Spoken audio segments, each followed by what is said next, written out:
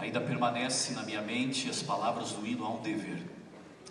Esse hino é sempre uma inspiração.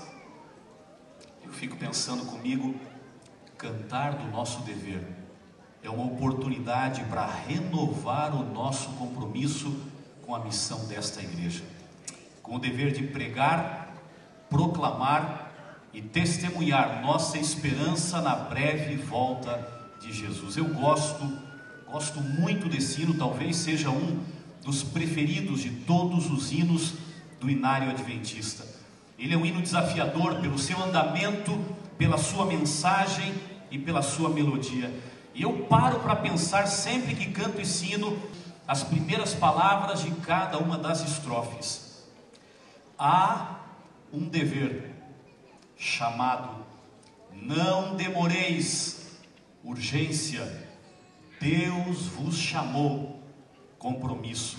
A escolha deste hino mostra a visão, o foco e o compromisso que vocês mantêm muito vivo dentro do coração. Eu queria dizer a vocês e a toda a igreja do NASP, Campus Engenheiro Coelho, e aos amigos que vêm estar conosco, neste sábado que a igreja, ela está vivendo um verdadeiro despertamento no compromisso com a missão e com testemunho, especialmente aqui no nosso território na América do Sul.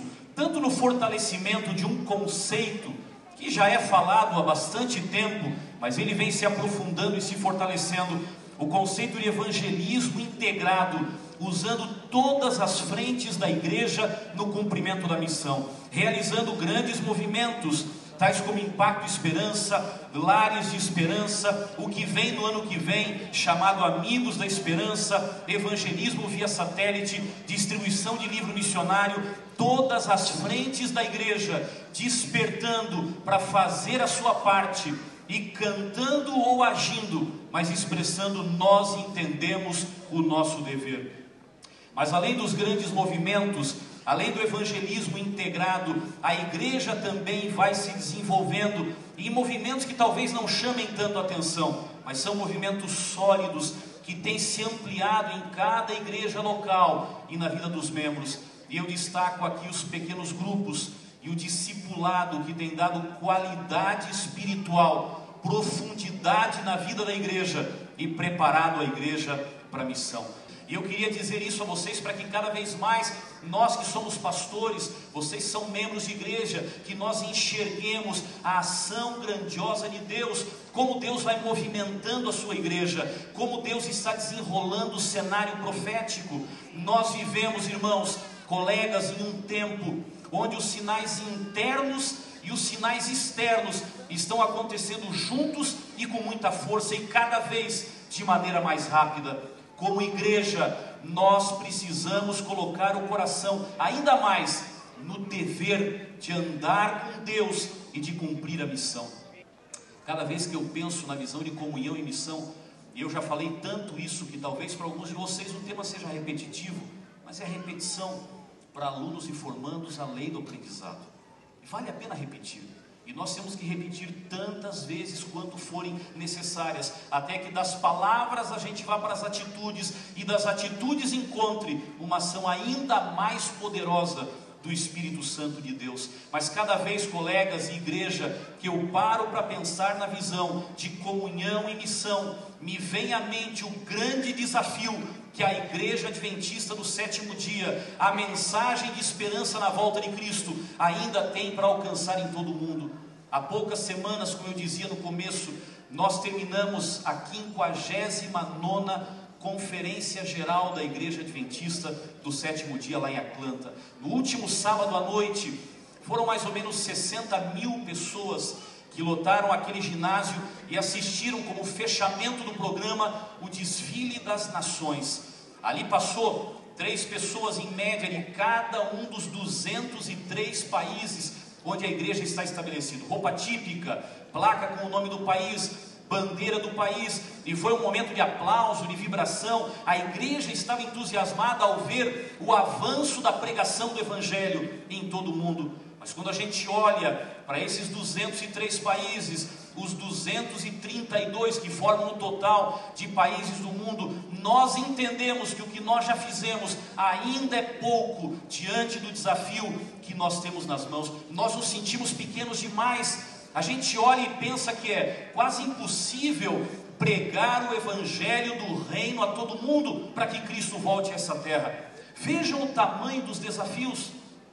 São Paulo 18,8 milhões de habitantes na Grande São Paulo, cerca de 90 mil adventistas. Olhe para o Rio de Janeiro, 6,8 milhões de habitantes no Grande Rio, 19 mil adventistas. Olhe para Buenos Aires, além da capital federal, a Grande Buenos Aires, 12,7 milhões de habitantes, 22.900 adventistas. Olhe para Montevideo, a capital do Uruguai. 1,3 milhão ou milhões de habitantes. Nós temos 1.457 adventistas. Olhe para Tóquio, no Japão. 35,6 milhões de habitantes em Tóquio. E nós temos 2.820 adventistas. Olhe para Nova York, 19 milhões de habitantes nós temos quase 38 mil adventistas ali. Olhe para a cidade do México, nós temos 23 milhões e meio de habitantes na cidade do México e temos 53 mil adventistas ali. Olhe para Mumbai, na Índia, nós temos 18,9 milhões de habitantes e 10 mil adventistas. Olhe para Xangai, na China, temos 14,9 milhões de habitantes e 6.200 adventistas. Olhe para Pequim, na China, 11,1 milhões de habitantes, 3.300 adventistas.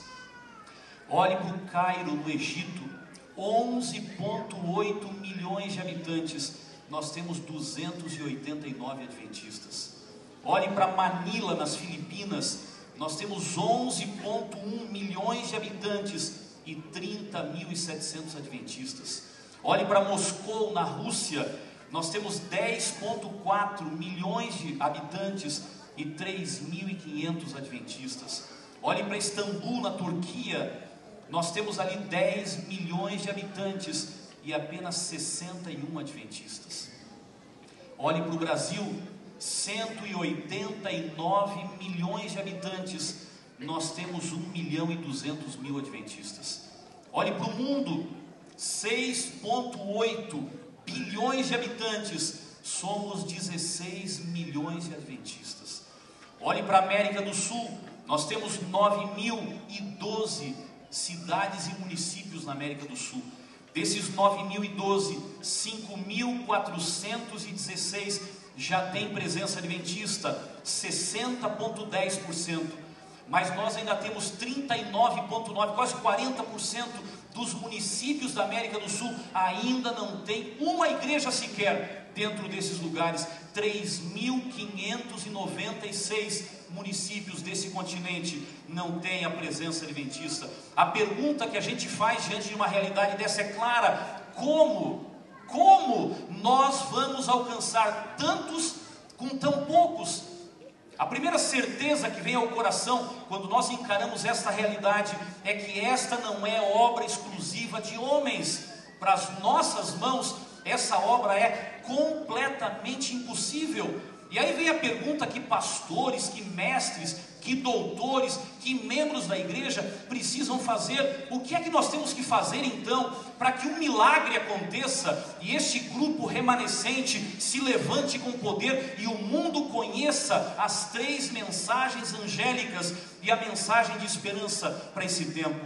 Nós só temos uma saída para responder essa pergunta: é ir à Bíblia e descobrir como foi que agiu a igreja cristã primitiva. Afinal, eles começaram com 12, contando com Jesus, com 13 pessoas, tiveram o desafio de alcançar 200 milhões de habitantes naquela época e foram bem-sucedidos. Como eles trabalharam? Em 50 anos, o cristianismo já havia se estabelecido no mundo conhecido e fez isso de maneira tão impactante que a história passou a ser dividida pelo próprio nascimento de Cristo. Alguém pode dizer, pastor, não dá para comparar, porque Jesus estava lá no começo, ele andou com eles. Nós aqui agora vivemos com o poder, mas andamos de maneira sozinha, o mundo é outro. Na verdade, os desafios são muito parecidos. Jesus impactou o mundo da época com o seu curto ministério, mas foram os discípulos e os primeiros cristãos que revolucionaram a história da época. A fórmula como isso aconteceu está em Atos capítulo 1, verso 8. Diz a Bíblia, palavras de Cristo, mas recebereis o que? Mas recebereis poder ao descer sobre vós o Espírito Santo, e sereis minhas testemunhas, tanto em Jerusalém, como em toda a Judéia e Samaria, e até os confins da terra. Aqui está a fórmula, aqui está o segredo, o segredo de ontem e o segredo de hoje estava e está na poderosa atuação do Espírito Santo entre o povo de Deus. Ellen White confirma que eles fizeram uma revolução porque o Espírito Santo foi adiante, e vocês conhecem quando ela fala no livro Ciência do Bom Viver, página 159, não pode haver limite, e aí as contas humanas acabam, aí esses números todos que eu falei desaparecem, não pode haver limite para a utilidade de uma pessoa que, pondo-lhe parte o próprio eu, ofereça margem à operação do Espírito Santo em seu coração. O Espírito Santo fez parte integrante da vida e do crescimento da igreja cristã primitiva. Basta ver como ele era mencionado no Velho Testamento e como ele passou a ser mencionado no Novo Testamento. No Antigo Testamento ele é mencionado 88 vezes em 22 dos 39 livros da Bíblia. Quando você vai para o Novo Testamento, ele aparece 262 vezes. Há uma amplidão do reconhecimento do ministério do Espírito Santo. Mas não é uma promessa só para aqueles dias. Hoje, Ele também precisa fazer parte integrante da vida de nossa igreja, do ministério de líderes, pastores, mestrandos e doutorandos. Só assim nós vamos poder pregar o Evangelho do Reino com poder e ver o cumprimento de nossa esperança, recebendo Cristo nas nuvens dos céus. Nós hoje, 2010, século 21, somos, somos tão incapazes de realizar a obra que está diante de nós, quanto foram os primeiros discípulos, mas nós também podemos ser capacitados pelo mesmo Espírito. Lá no Pentecoste estava uma congregação de 120 pessoas clamando pelo poder do Espírito Santo. E vocês conhecem a história: 120 orando, clamando, e logo depois que foram cheios, eles imediatamente levaram 3 mil pessoas a Jesus. E a Bíblia diz no livro de Atos que depois disso, o número ainda aumentava o quê? Qual a expressão que a Bíblia usa? Mais e mais. Eu paro para pensar, irmãos, no que é que o Espírito Santo faz e aí repito, as contas humanas e o medo humano e o senso do impossível desaparecem. Aquela pequena congregação de 120 membros cresceu 25 vezes em apenas um sermão. Você já parou para pensar nisso? Uma congregação de 120 membros cresceu 25 vezes em apenas um sermão. Imaginem o que a igreja, ou melhor, o que o Espírito Santo pode fazer ao descer hoje sobre a igreja de Deus. Além de uma nova vida espiritual, ele vai trazer especialmente poder à mensagem. A história da igreja cristã deixa claro que todo reavivamento genuíno, todo reavivamento genuíno sempre teve como resultado a conversão de grandes multidões. Todo reavivamento genuíno sempre teve como resultado a, conversões, a conversão de muitas pessoas, a comunhão que chega na missão. Essa visão de Atos capítulo 1, verso 8, na minha ótica se destaca por duas palavras. E aqui vem a visão de Deus para a igreja. E aqui vem a visão que a igreja tem procurado desenvolver. Atos capítulo 8 tem as duas palavras: recebereis poder. E depois vem: sereis minhas testemunhas. Recebereis e sereis. É a visão de ação e reação, é a visão de causa e efeito, é a visão de comunhão e missão. Recebereis é comunhão, sereis é missão. É o conceito que a Bíblia apresenta de ponta a ponta de receber e depois oferecer. Você conhece isso em toda a Bíblia, mas fica evidente na visão de Ezequiel, quando uma voz lhe dizia: Ezequiel, come o livro, e depois fala ao povo: comunhão e missão. Nas palavras de Jesus, a mulher samaritana, todo aquele que beber dessa água será o que? Uma fonte, é comunhão e missão. No apelo do livro do Apocalipse, o Espírito e a noiva dizem: Vem. E quem ouve, faça o que? Diga, vem. É comunhão e missão. Essa é a visão de Deus para uma igreja saudável hoje. Nós procuramos envolver e consolidar essa visão na vida dos líderes, no programa da igreja e na visão dos membros da igreja também. Nós buscamos uma igreja envolvida em comunhão, que busca a Deus qual é o momento? Como é que a gente tem falado tanto por aí que busca Deus na primeira hora de cada dia? Uma igreja que toma tempo para a Bíblia e para os escritos inspirados de Ellen White. Uma igreja que tem acesso, que pode conseguir chegar a esses materiais e tê-los na sua casa. Uma igreja que tem o compromisso supremo com a vontade de Deus nas suas palavras, na sua aparência pessoal, nos seus alimentos, nas suas músicas, nas suas amizades, no seu, na sua recreação, uma igreja que tem um compromisso maior com a vontade de Deus do que com a sua própria vontade. Uma igreja que primeiro se coloca de joelhos para então se colocar em pé com o rosto resplandecente. Nós também buscamos uma igreja comprometida com a missão. Uma igreja que apresenta a mensagem com poder, tanto poder que torna a mensagem irresistível.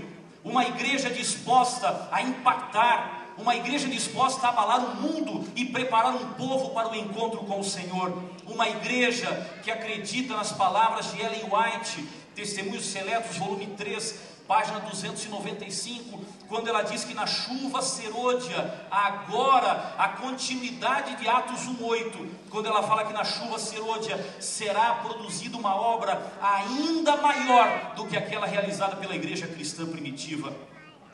Uma igreja que acredita no envolvimento de cada membro com a missão, capaz de gerar uma verdadeira multiplicação da igreja. Uma igreja disposta a ousar, uma igreja disposta a quebrar barreiras, uma igreja disposta a avançar pela fé e ver os milagres de Deus. Nós podemos avançar, nós podemos ousar e acreditar apenas quando estivermos seguros de que nossa igreja anda com profundidade e de mãos dadas com o Senhor, e de que o Espírito Santo de Deus atua em nosso meio. Aí sim, nós poderemos acreditar que não há limites, não há limites o Espírito Santo agindo através de comunhão e missão, não há limites para aquilo que Deus pode fazer. Aí nós vamos poder avançar com pressa para pregar de nossa esperança e ver Cristo voltando nas nuvens do céu. Eu quero desafiar cada membro desta igreja e servidor desta instituição nesta manhã a avançar dentro dessa visão de comunhão e missão não desequilibrem essa fórmula. Não desequilibrem essa fórmula. Não sejam apenas cristãos, sejam também missionários. Não sejam só missionários, sejam principalmente cristãos. Comunhão e missão, um desafio para cada membro da igreja. Recebam e compartilhem a cada instante. Por favor, colegas, a sua maioria pastores, usem o conhecimento e a capacidade que vocês receberam aqui para aprofundar esta visão, aprofundar esse, essa noção, tanto na vida pessoal, como na vida ministerial e na liderança que cada um de vocês exerce onde está. Não permitam que a igreja cresça unilateralmente, só numa direção, mas por favor, ajudem a igreja a crescer de forma integral, de forma completa, em comunhão e em missão. Nunca se esqueçam, onde vocês trabalharem, numa igreja, num escritório, numa instituição, nunca esqueçam que mais do que ver nossos membros em nossos templos, nós queremos vê-los no céu. Isso aqui é um ponto de passagem. Não se esqueçam que nós não fomos chamados para manter a igreja de Deus, nós fomos chamados para multiplicá-la, como na parábola dos talentos que nós vimos ilustrada nessa manhã. É para isso que o poder do Espírito Santo está à nossa disposição. Por favor, não vamos apenas repetir a história, porque a chuva serôdia nos reserva bênçãos e milagres ainda maiores. O meu desafio, membros e servidores dessa instituição, é que nós possamos avançar em comunhão e missão para ver Cristo voltando em nossa geração. Que Deus nos abençoe.